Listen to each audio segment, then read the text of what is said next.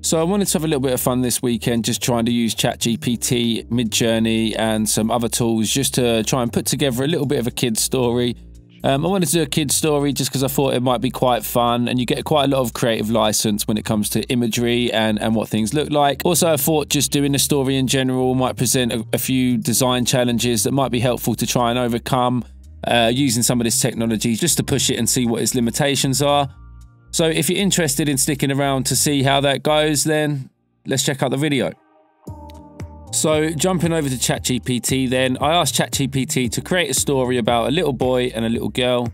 It produced this story about two kids called Jack and Lily who essentially go exploring into the woods and find a little bird who's been hurt they then take the poor little bird to the doctors, fix him all up, and bring him back. And the moral of the story is to to kind of do unto others and be kind, and, and the sense of good feeling that you get from that.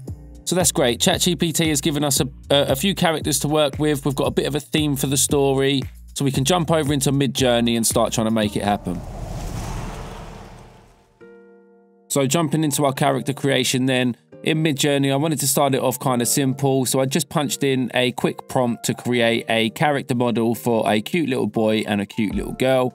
Ended up producing me a few decent examples, but most of them weren't body shots.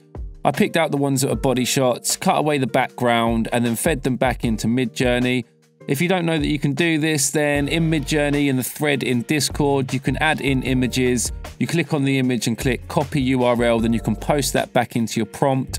What that's going to do is Midjourney is going to analyze that image and use that as part of its generation for how it creates the resulting image. The images I got were a slightly different style to each other, so I ended up running them through Photoshop, pulling them out the background, putting them back through in the way that I just explained, and producing more character models.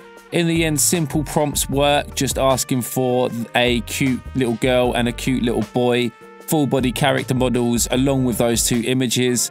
It ended up producing a few characters that I was quite happy with, so I ended up selecting those as Jack and Lily and taking them over to Photoshop to do the first part of the processing.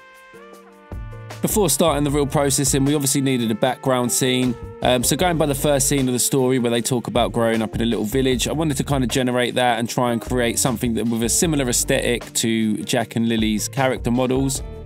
I started by trying to feed in the character models in a similar way that I used the character models before, but obviously this led to generating a lot of images that had faces in um, and, and bodies in, obviously because we were using the uh, character models to generate.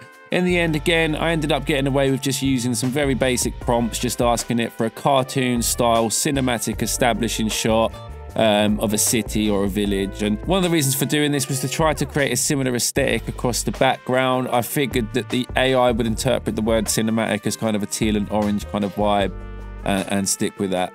I've done a few iterations of this until I was happy with it, selected one, and then moved it over to Photoshop. In Photoshop now, then, and we're just playing around trying to fit the characters into the scene. One of the nice things that ended up happening when we used the first original character models to generate our final character models was that we ended up with quite a similar light direction on both of the characters, which is really handy. And also in some of these scenes, there was very strong contrast in light, so it was kind of easier to match the shadows. Again, this isn't perfect, and I'm not shooting for like some perfect bit of work here, really just exploring the art of the possible and where we can take it. So the second scene I generated was quite similar to the next one. I used the first image of the establishing shot and then asked for some woodland. It kind of ended up looking like it was just on the outskirts of the village, so I thought I'd use this as a kind of transitional scene. Um, one of the things I've learned when doing things like this with Midjourney and with this kind of AI generation is to not get too caught up on the on the on the minor details and just kind of focus on the macro. Also, we can slightly adjust things and edit things in Photoshop. Another interesting note is obviously that now Photoshop has got all of the neural filters um, and different AI and machine learning tools. For example, Photoshop's neural filter upscaling and also using the content aware fill tool just to expand some of these images to fill the frame. One of the next stages then and one of the trickier things to do with Midjourney was to try to create our character models but in slightly different character poses um, and with different facial expressions and different variations. Um, when you feed the images back into Midjourney, it will produce more character models, but oftentimes there's quite significant variations and sometimes just small variations. but always there will be some sort of variation to the character, and it can be like little things like a different coloured shirt, buttons in different places, and things like that. Um, so again, it's another one of those ones where at the moment you just kind of don't get too caught up on the minor details and just go for the general aesthetic of what you're trying to achieve. For the next scenes, it's generally just some more kind of wide establishing shots, just kind of general scenery.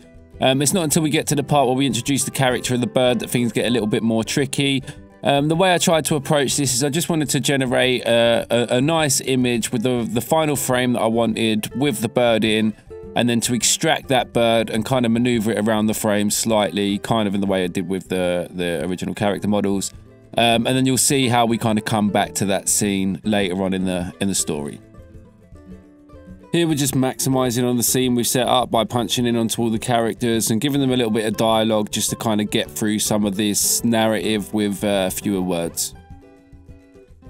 So, to draw a bit of a conclusion then about this technology and this workflow, I mean, obviously there are a lot of limitations at the moment, and this is just using Midjourney.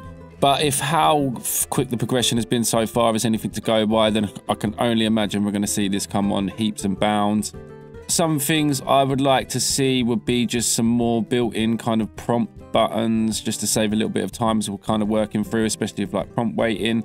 Also, it'd be great to have a little bit more control over the inputs. Having some sort of prompt weighting on images would be fantastic especially when trying to create more consistent character models. It would also open up a lot of scope for more experimentation.